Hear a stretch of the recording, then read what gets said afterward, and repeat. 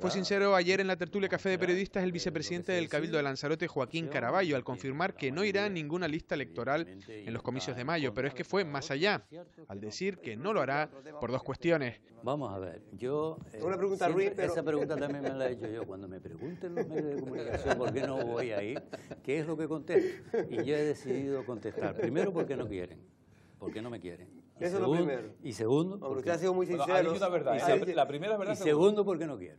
Ah, que, que, también ha puede ser momento, verdad. son ocho años, tengo ya creo que bastante tiempo dedicado a la institución, creo que es un momento político de cambio y de, y de que entren otras personas también con otra forma de ver y enfocar las cuestiones. Y, pero básicamente yo ya he tomado la decisión de que aunque el partido me lo pida, yo no voy a ir.